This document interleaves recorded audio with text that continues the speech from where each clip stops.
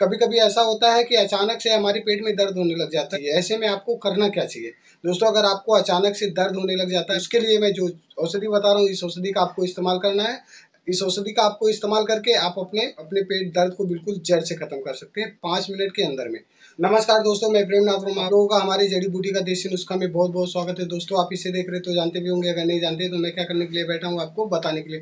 दोस्तों, आप इसको देख लो और पहचान लो। दोस्तों, आज हम बात करेंगे कि हमारे बहुत से भाई ऐसे हैं और हमारी बहुत सी माताएँ हैं कि जिनको बहुत ज़्यादा प्रॉब्लम होती है कि पेट को लेकर दोस्तों ऐसी कभी कभी ऐसा होता है कि अचानक से हमारे पेट में दर्द होने लग जाता है, अचानक से दर्द होने लग जाता है तो आपको क्या करना चाहिए? ऐसे में आपको करना क्या चाहिए?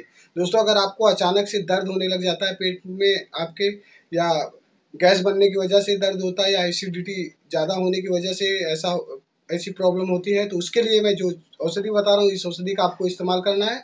इस औषधि का आपको इस्तेमाल करके आप अपने एसिडिटी जैसी समस्या को बिल्कुल जड़ से ख़त्म कर सकते हैं। आप अपने पेट दर्द को बिल्कुल जड़ से ख़त्म कर सकते हैं पाँच मिनट के अंदर में। मैं जो नुस्खा बताने वाला हूँ, दोस्तों, ये गजब का नुस्खा है। अगर आप इसका इस्तेमाल करते हैं तो हंड्रेड परसेंट मैं गारंटी के साथ कहता हूँ कि पाँच से दस मिनट के अंदर में आपके पेट का दर्द जो है वो बिल्कुल जड़ से ख़त्म हो जाएगा।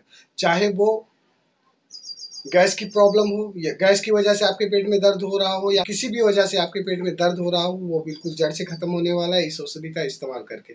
दोस्तों, उसके लिए आपको करना क्या है? जो ये औषधि मैं बता रहा हूँ, ये औषधि आपको अपने किचन में आराम से मिल जाती है और आपको अपने किचन से औषधि लेके इस औषधि का इस्तेमाल करना है। उस तो आपको लेना क्या है? दोस्तों, ये जो औषधि बता रहा हूँ, इसको नोट कर लीजिए और लिख लीजिए, लिख के रख लीजिए।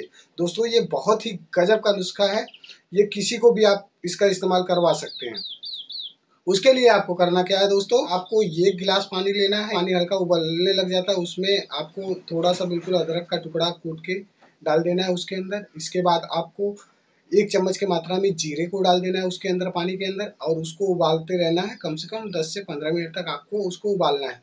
पंद्रह मिनट तक जब वो उबलता है, जब उबलने लग जाता है, तब आपको अपने स्वाद के अकॉर्डिंग सीधा नमक उसके अंदर डाल देना है। उसके अंदर डालने के बाद उसको पानी को उतार के रख देना है। रखने के बाद आधा नींबू उसके अंदर निचोड़ देना है।